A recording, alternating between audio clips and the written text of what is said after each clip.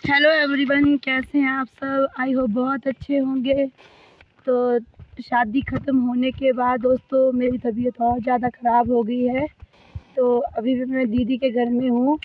तो अभी जा रही हूँ डॉक्टर के पास दोबारा से दवाई लाने। और बहुत ज़्यादा धूप है तो धूप में छाता लिया है मैंने। तो दोस्तों मैं हॉस्पिटल पहुँच चुकी हूँ।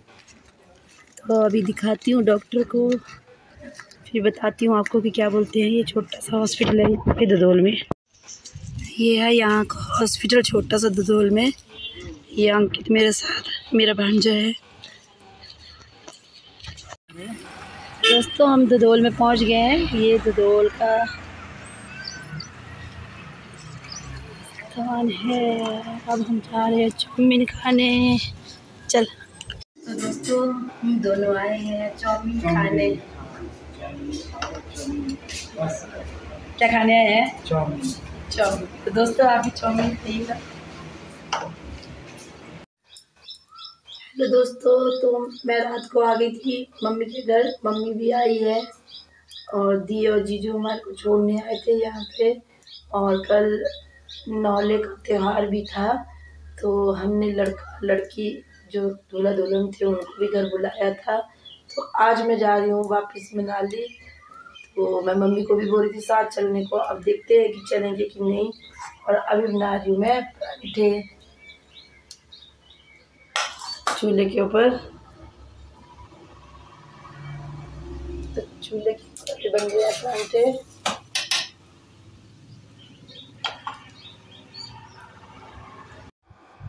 तो दोस्तों में जाने के लिए तैयार हो रही हूँ। अब मम्मी भी मेरे साथ जा रही है और बुखार से तो इतनी हालत ख़राब हो रही है कि अभी तक गला ठीक नहीं हुआ है पूरी तरह से। अभी भी बैठा ही है और डॉक्टर ने कल मुझे बोला कि आपको टाइफाइड बन रहा है और उन्होंने मुझे बहुत सारी मेडिसिन दी कल और रेस्ट करने को बोला है इन्होंने। और दिखाती मैं आपको। दवाइयाँ।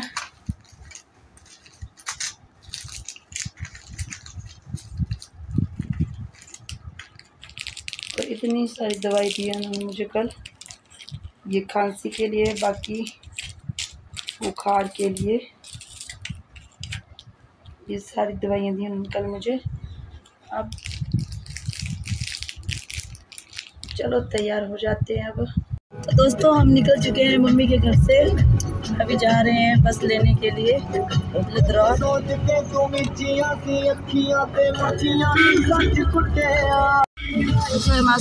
माता का मंदिर। दोस्तों, अब पहुँच चुके हैं लदरौर और यहाँ से मम्मी के घर की दूरी है, वो है सात किलोमीटर। अब हम जाएँगे जाहू।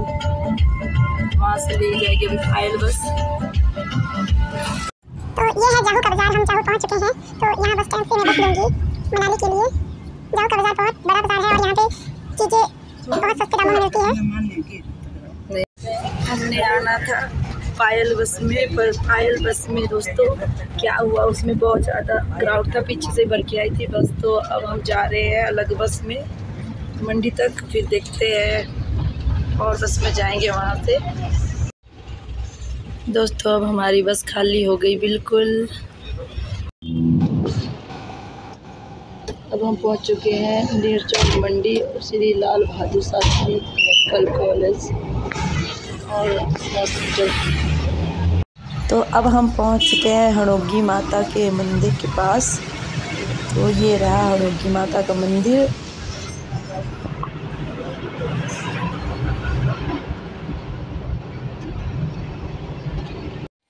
तो दोस्तों, हम घर पहुँच चुके हैं। तो अभी टाइम हो गए है छः बज के हैं। तो थक गए हैं, मम्मी इधर लेट गई है। थक गई है, इनको ठंड लग रही है। तो फिर मिलते हैं कल एक और नई वीडियो के साथ। तब तक आप मेरे चैनल को सब्सक्राइब ज़रूर करें। जिन्होंने नहीं किया है, और लाइक शेयर करना ना भूलें। तब तक के लिए बाय बाय